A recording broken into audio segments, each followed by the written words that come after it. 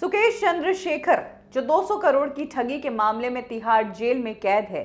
Jacqueline ने इस शख्स को भले ही अपनी ज़िंदगी से निकाल दिया हो, लेकिन जैकलीन की ज़िंदगी में ये शख्स लंबे समय तक रहेगा और जैकलीन याद नहीं भी करेगी तो लोग उसे याद कराएँगे। ऐसा ही कुछ मामला देखने को मिला है।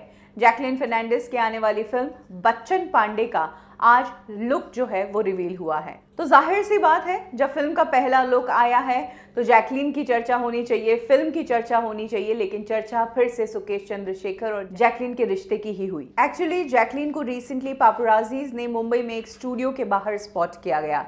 इस दौरान जैकलीन स्टूडियो से बाहर निकली और व्हाइट कलर की मर्सिडीज में बैठकर निकल गई। अब लोगों ने जैकलीन फर्नांडिस से इस गाड़ी के बारे में ही पूछना शुरू कर दिया। ज़ाहिर सी बात है, सुकेश चंद्रशेखर ने जैकलीन फर्नांडिस को बड़े बड़े गिफ्ट किए हैं। उन्हें गुची से लेकर डायमंड ब्रेसलेट्स तक गिफ्ट किए हैं और उनकी मदर को एक बीएमडब्ल्यू कार भी दी है। ऐसे में आज जब जैकलीन मर्सिडीज में नज़र आई तो लोगों ने पूछ लिया कि ये मर्सिडीज भी कहीं सुकेश चंद्रशेखर ने ही गिफ्ट तो नहीं की है। एक यूज़र ने कहा, कार तुम्हारी है या सुकेश की है?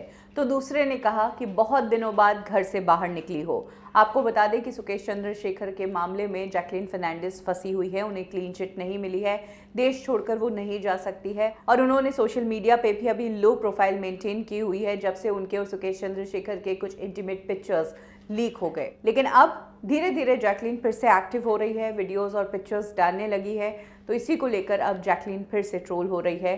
सुकेश चंद्रशेखर, वो शख्स है जिसने जेल में बैठकर 200 करोड़ ठग लिए और कहा जाता है कि उन ठगी के पैसों से उसने जो कुछ वो खरीद सकता था, वो उसने ख़रीदा। फिर चाहे बॉलीवुड की बड़ी एक्ट्रेसेस हो या फिर जेल की अथॉरिटीज़ ही हो, जो उसे जेल में भी होटल जैसा आराम दे।